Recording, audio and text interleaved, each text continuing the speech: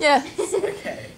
Um, I like Pioneer Arts because um, all the music we got to do, like the mixing thing and the recording studio, the drums, the guitars, and all that. And, um, we got to do art and craft and drama, and that was really fun too. And the staff are great. Um, Chris puts up a real good program. All the staff are just.